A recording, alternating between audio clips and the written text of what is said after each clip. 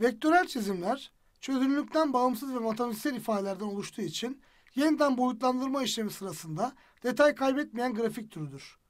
Fireworks uygulamasında vektör şekiller çizmek ve düzenlemek için vektör araç seti bulunmaktadır.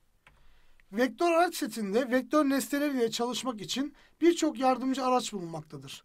Bu araçlar ile nesnelerinizi oluşturur ve düzenleyebilirsiniz.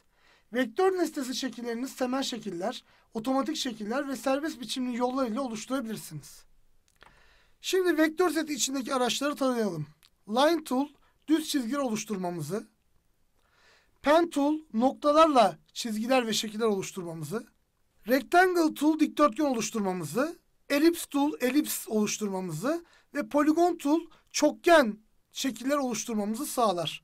Bunun haricinde birçok farklı şekli direkt olarak oluşturmamızı sağlayan araçlar da Rectangle Tool bölümü altında yer almaktadır. Vektör araç seti içerisindeki diğer araçlar ise Text Tool, yazıları oluşturabileceğimiz araç. Freeform Tool, şekilleri serbest olarak biçimlendirebileceğimiz araç. Ve şekilleri kesmemize yarayan Knife Tool.